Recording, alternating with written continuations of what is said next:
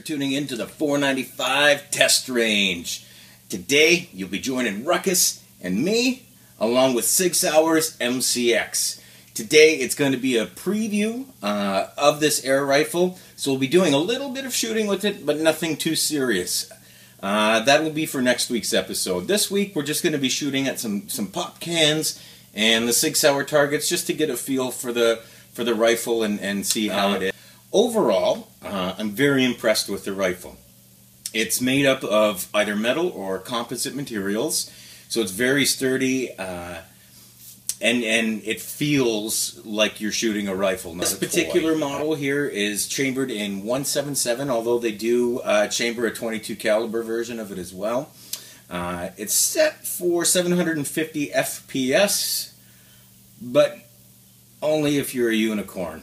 Uh, this thing is is chroning at uh, chronographing at around 480 to you know uh, 490 FPS. Uh, my own ballistics testing shows that the the muzzle energy on it is is about the same. So that's why we've got it in the 495 test range. Sadly, is that it's it's underpowered. Um, now you can't buy these in Canada. You have to get them from the states. So you're going to need to pack your PAL in your wallet and uh, take a run for the border. Um, or if you know somebody or you find somebody online who's importing them, I've seen somebody on Amazon. I think the name is is Deadly Discounts. Um, they carry these and sell them to Canada from time to time. But uh, you know, your other option is to send, you know, your buddy like me. I sent Ruckus down, but uh, he said the border guards gave him a bit of a hassle on his way back in with it. But uh, as long as you got your PAL, you should be okay. So if you're lucky to get one of these across the border, um, here's what you can expect to find in the box. Uh, obviously, depending on the model, you may have one that's tan. Uh, you may have ordered one that comes with optics. I didn't. I ordered the bare bones version which gives you just simple iron sights with it. Um, there is also an MPX version of this, uh, where the barrel is cut down uh, to about here, just right at the end of the uh, your handguards there. Uh, and it also has a lower uh, advertised velocity. Um, as for this, what you'll get in the box, like I said, you'll get the rifle with your iron sights or whatever optics you've chosen. You'll get your uh, little Chummy Riggins tool here. Uh, this helps you to adjust front and rear sights uh, as well as load your pellets. You'll get one 30 round belt uh, to load your pellets into and then a magazine to put that in. Uh, the butt, pistol grip, handguards, and foregrip. Those are all your plastic components on the rifle. Everything else is metal. Your trigger, cocking handle, all of it metal. Um, well, you're obviously the trigger, your safety, and the cocking handle function.